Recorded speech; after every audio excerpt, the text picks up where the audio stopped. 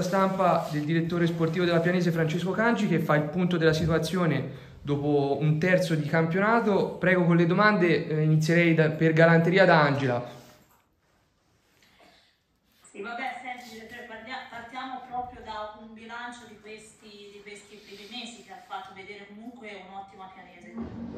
Sì, è passato un terzo di campionato e possiamo dire che um, il lavoro che quest'estate pensavamo e abbiamo iniziato a svolgere nel lontano ormai 5 di, di, giugno quando ci siamo iniziati a riunire e a programmare la Lega Pro oggi sta portando i suoi frutti. Abbiamo iniziato calcisticamente subito bene con ottime prestazioni dalla prima giornata i ragazzi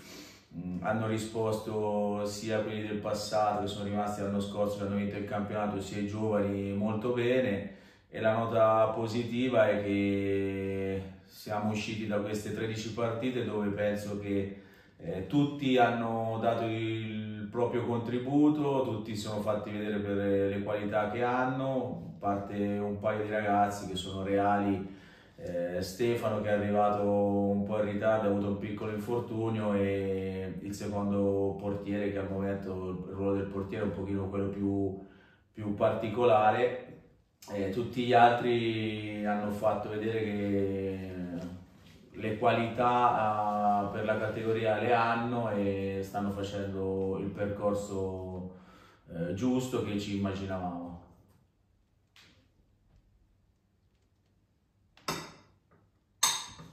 Prego a chi vuole intervenire. C'è un giocatore tra i giovani che ti ha sorpreso particolarmente, che magari non ti aspettavi già una... Sentite? Sì, sì, sì.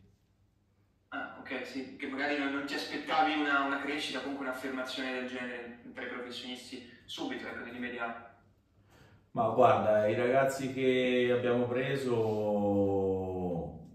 tanti venivano già dal, da settori giovanili importanti. Sicuramente quello che mi ha sorpreso per la professionalità e per gli allenamenti e per l'impatto è, Pietro Boer, il portiere, che comunque arrivava da un contesto importante, no? perché comunque era due anni che faceva il terzo portiere con la Roma, eh, in un ambiente sicuramente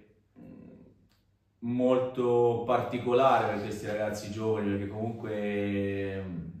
si, si allenava con con campioni come Dybala, come tanti altri giocatori, no? È venuto qua dal primo giorno, si è calato nella realtà pianese che io continuo a dire che è una realtà eh, nei professionisti dove si può lavorare bene, dove a questi ragazzi non manca niente, però lui dal primo giorno si è messo a disposizione del mister, del preparatore dei portieri Giacomo Palmi e, e giorno dopo giorno eh, ha fatto una crescita importante che, che, comunque aveva giocato poco in questi ultimi due anni, quindi eh,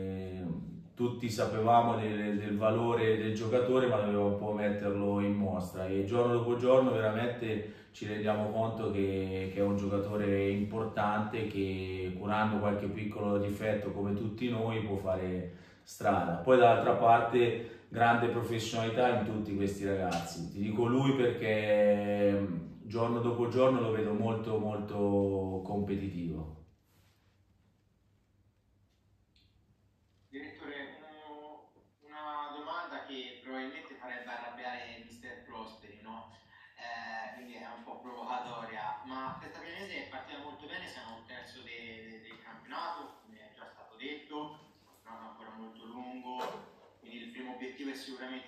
Salvezza. Guardando però la classifica e vedendo comunque quanto è corta, questa Canese può sognare anche nel playoff? Ma guarda, eh, giusto per far arrabbiare come hai detto tu Mister Prosperi, dove noi anche a telecamere spente ci, ci, ci scherziamo, ci discutiamo, comunque... Eh, io so dall'anno scorso di avere qua un allenatore con uno staff molto competente e che eh, lo ha dimostrato vincendo il campionato l'anno scorso e lo sta dimostrando tuttora perché come ho detto eh, subito questa squadra dal primo momento eh, ha un, una propria identità. Grazie anche ai tanti giocatori che sono arrivati che si sono messi a disposizione e hanno grandi qualità. Alcuni secondo me faranno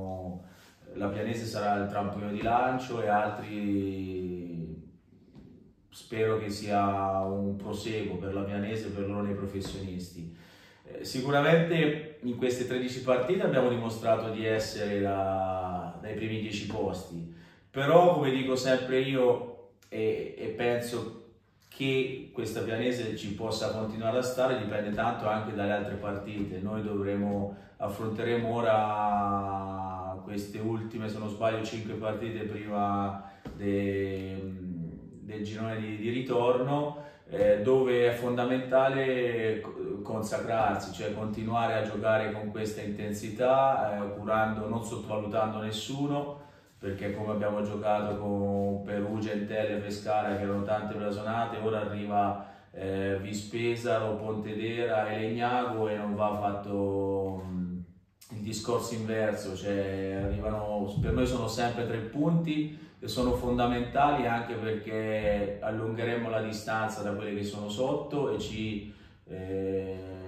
consolideremo la nostra posizione. Quindi io penso che va rispettato l'avversario, dobbiamo lavorare giorno dopo giorno sempre massimali, come dice il mister, e ce la giochiamo con tutti. Poi se riusciamo anche nelle prossime già da domenica a eh, far sì che il risultato sia positivo, ti dico che al momento siamo tra le prime 10, però è un campionato veramente difficile dove a oggi ti devo dire che c'è una squadra che abbiamo affrontato che è una squadra materasso, tra virgolette, direi di no. Senti, ma c'è una partita in cui hai detto, cavolo, siamo proprio una bella squadra, cui i ragazzi ti sono piaciuti tanto e ti hanno reso soddisfatto? Ma se ti devo dire, sono bastati anche i primi 30 minuti di, di Perugia, perché in 35 minuti della prima giornata vincevamo 3-0 contro comunque una squadra che la categoria la conosce molto bene io penso che da quel giorno lì, piano piano, i ragazzi, l'ambiente, tutti si sono resi conto che eh, la Pianese aveva un, una squadra, eh, un ambiente per poter affrontare bene questa, questa Lega Pro. Eh, quindi da quel giorno noi abbiamo sempre fatto il nostro percorso dove ci sono stati degli alti e dei bassi come ci sono in questi campionati. E poi un'altra prova di forza è stata sicuramente anche andare a pareggiare a Ferrara dove era la seconda, se non sbaglio era il turno infrasettimanale eh, contro una squadra forte, un ambiente comunque caldo perché avevano bisogno di punti, siamo riusciti con sacrificio e anche facendo ottimi trame di gioco a portare a casa un punto importante anche da Ferrara, quindi è stata una, una partita di di maturità. Secondo me questa squadra aveva più bisogno di capire che la categoria poteva, poteva farla tranquillamente. Um, una, una, domanda su Mignani, ti chiedo come secondo te si sta comportando in questo campionato che insomma serve da ulteriore consacrazione no? dopo la grande stagione in Serie D dello scorso anno e se eh, a inizio dell'anno è stato diciamo, complicato convincerlo magari a rimanere a Venezia visto le offerte, anche Siena ovviamente che ha un forte eh, impatto no, per lui visto che è senese, ma anche magari da altre squadre forse credo più blasonate della Venezia. Allora, Guglielmo non è stato difficile perché è stato il primo che ha voluto continuare questo percorso da ragazzo intelligente con la pianese perché eh, aveva maturato dentro di sé la convinzione di, di, avere una maglia da protagonista, poi va sempre dimostrato settimana per settimana negli allenamenti, però eh, è stato il primo che ha messo davanti a tutti la, la Pianese come prima squadra in questa nuova avventura per lui dei professionisti. Eh, un senso di, di gratitudine ver, verso la Pianese che l'anno prima l'aveva portato a Biancastagnaio in un contesto importante dove ne è messo nelle condizioni di fare i 19-20 gol che ha fatto l'anno scorso. E, dall'altra parte secondo me Guglielmo sta facendo il suo percorso di crescita, sicuramente trova degli avversari, dei competitor uh, diversi dalla, dalla, Serie D e quindi deve anche lui eh, migliorare nella fisicità, nelle, nelle, qualità tecniche, però ha già dimostrato in, in queste prime 13 giornate che è un giocatore che sa far gol, è un giocatore che